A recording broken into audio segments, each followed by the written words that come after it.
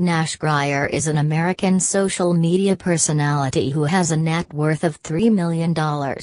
Nash Grier was born in North Carolina in December 1997.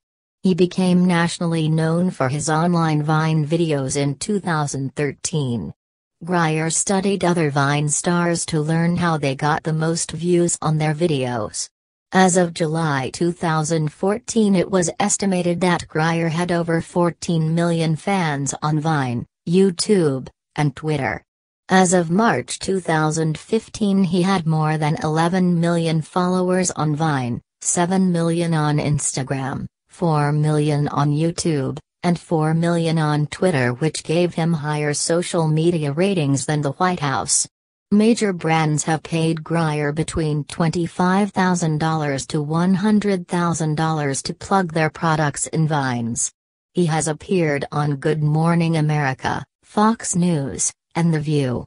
He has been criticized for his disparaging comments against LGBT people.